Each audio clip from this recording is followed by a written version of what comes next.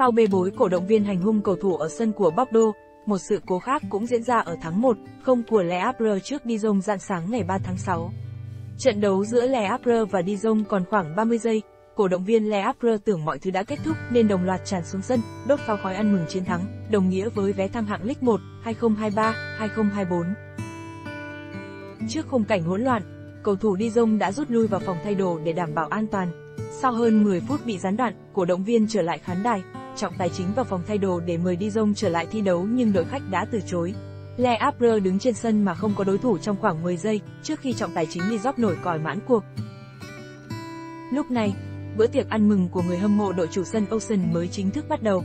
3 điểm trước Dijon giúp Le Havre trở lại League 1 sau 14 mùa giải ngục lặn ở giải hạng 2.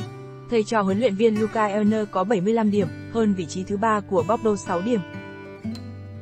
Trong khi Le Havre đã thăng hạng, Metz, 72 điểm, sẽ phải chờ kết quả chính thức ở trận Bordeaux gặp Rodez mới biết mình có được thăng hạng hay không. Màn so tài của Bordeaux cũng gặp sự cố buộc trọng tài phải hoãn trận đấu để chờ quyết định từ ban tổ chức. Về phía Dijon, họ chính thức nói lời chia tay League 2 khi chỉ có 42 điểm. Dijon, Niort và Nîmes là ba câu lạc bộ chắc chắn xuống hạng, trong khi Rodez phải thắng Bordeaux ở trận đá bù vòng 38 nếu muốn trụ lại giải hạng hai Pháp mùa tới.